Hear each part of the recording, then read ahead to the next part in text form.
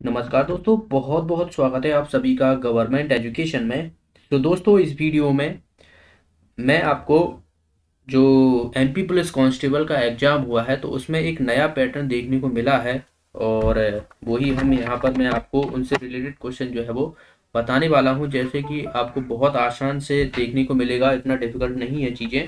तीन जो है वो रूल वहाँ पर मैं आपको बताऊँगा और उसी रूल को आपको फॉलो करना है।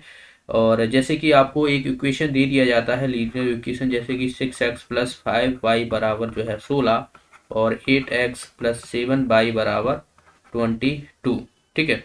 उसमें से आपसे पूछ लिया जाता है कि निकाय के हल होंगे, ऐसा क्वेश्चन पूछ लिया जाता है। तो क्वेश्चन में निकाय के हल होंगे। तो मैं आपको कंडीशन बताऊँगा, ये क्वेश्चन दरअसल जो है वो एमपी पुलिस कांस्टेबल में आया हुआ है। ये चौबीस तारीख को जो है एग्ज़ाम हुआ है, उसमें जो है ये क्वेश्चन आया हुआ था। तो नया यहाँ पर चीज़ देखने को मिल रही है।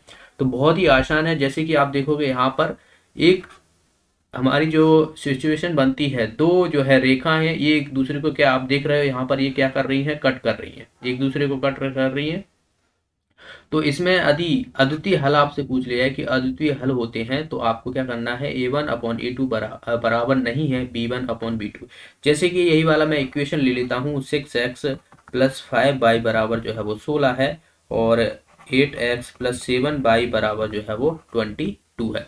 तो ये अगर हमसे वहाँ पर ऑप्शन दिए जाते हैं कि यह एक हल है या इसके अनेक हल है या अनंत हल है, इस तरीके से जो है आपको वहाँ से ऑप्शन दे दिए जाते हैं।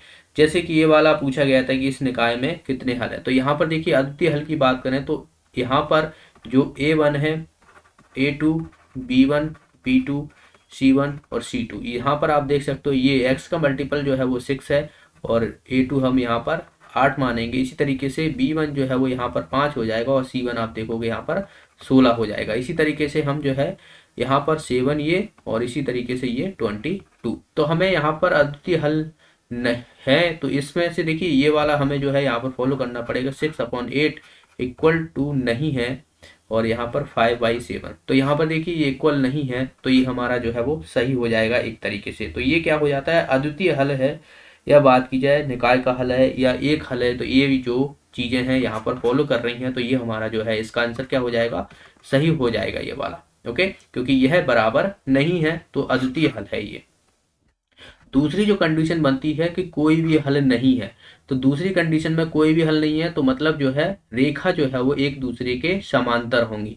तभी जो है, वो कोई भी हल नहीं होगा। इसमें आपने देखा कि जो है ये प्रतिषेध कर रही है। तो यहाँ पर आप देख सकते हो, दोनों रेखाएँ एक दूसरे को एक ही बिंदु पर प्रतिषेध करती हैं। तो उसमें हमें अद्वितीय हल देखने को मिलता है, यानी a one upon a two equal to नहीं है b one upon b two के। इसी तरीके से अब अब देखिए वही वाली चीज़ें मैं यहाँ पर बताने वाला हूँ। तो यहाँ पर देखिए, इसमें आपको बस वही चीज़ें फॉलो करनी है। Six x plus five y equal to सोलह eight x plus seven y equal to twenty तो आपसे पूछा जाए कि इसमें कोई भी हल नहीं है तो कैसे निकालोगे? Six upon eight equal to five by seven equal to not और यहाँ पर देखोगे सोलह बटा बाईस। तो आप देख सकते हो ये बराबर नहीं है तो आप देख सकते हो यहाँ पर इस तरीके से हमें इसको फॉलो करना है।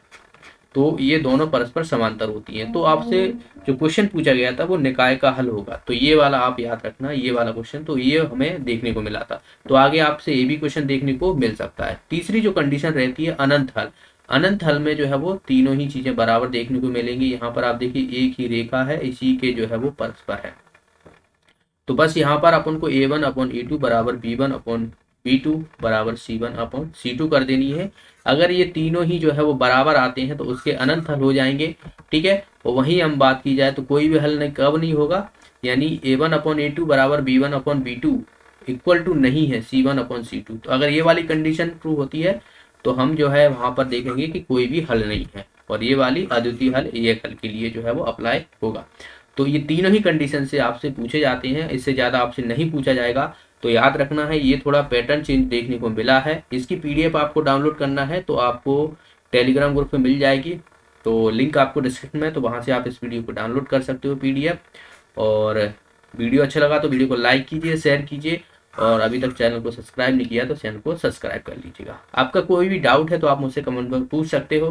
देखिए, जिन लोगों का पेपर है कल तो वो डेफिनेटली ये तीनों कंडीशन याद करके जाना, आपसे एक नई क्वेश्चन जो है देखने को मिलेगा। तब तक के लिए बहुत बहुत धन्यवाद